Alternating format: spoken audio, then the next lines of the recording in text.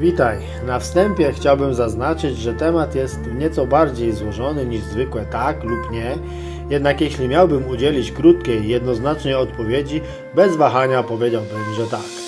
Czyli że co? Że kable też grają? Otóż jakkolwiek by tego nie nazwać, mają wpływ na finalne brzmienie całego systemu.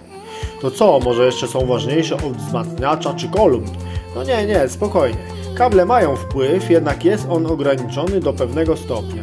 Czasem to kosmetyka, a czasem coś o większym znaczeniu. Im bardziej zaawansowany system, tym z reguły wpływ jest bardziej słyszalny. Chodzi o to, że należy zachować rozsądek w tym całym kablowym zamieszaniu, bo czasem są tak skrajne poglądy zwolenników jednego lub drugiego obozu, znaczy tych, co utrzymują, że kable nie mają żadnego znaczenia, lub tych, co przeceniają to znaczenie, że aż głowa puchnie. Trzeba mieć świadomość, że kable za 10 tysięcy nie zrobią z mojej wieży AIWA z przyjęcia systemu high-end i odwrotnie, że czyjeś kolumny, np. Dali Epicon, nie zagrają poprawnie na zwykłym kablu od żelazka.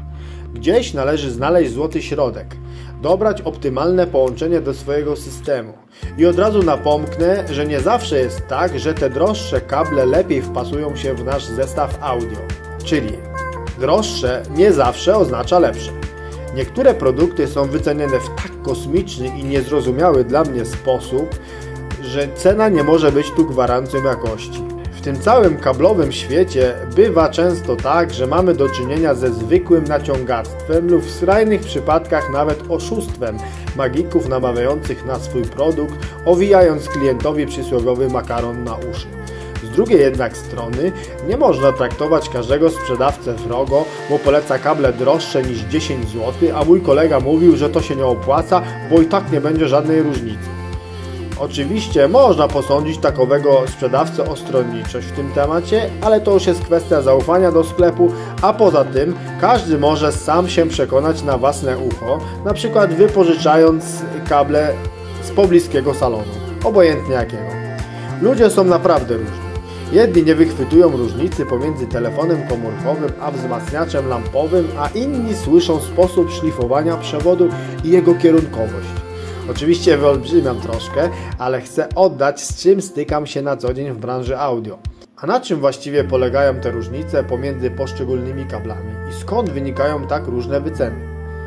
Większość kabli dostępnych na rynku audio jest miedziana, gdyż w swojej cenie nie ma lepszego przewodnika elektrycznego i absolutnym standardem jest tutaj, by ten stop był uznawany za beztlenowy, oznaczany OFC.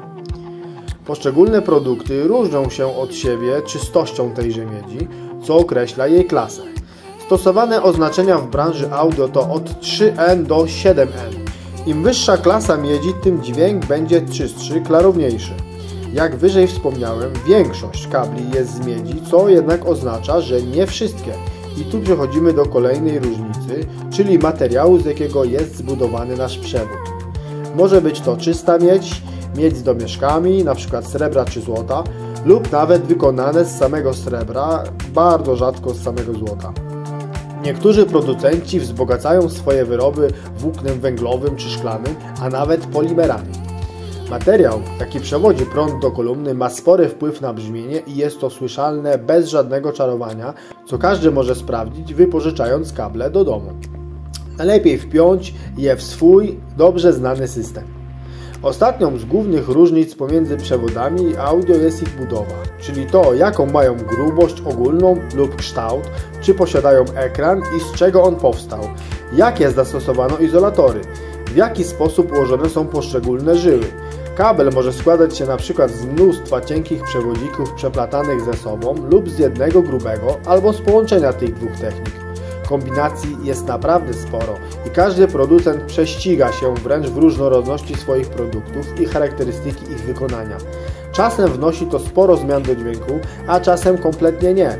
Jest raczej przejawem kreatywności marketingowej i umiejętności wpływania na świadomość konsumenta. Proponuję i gorąco zachęcam ponownie samemu przekonać się, zanim żarliwie będziemy bronić swojej racji, na przykład na internetowym forum.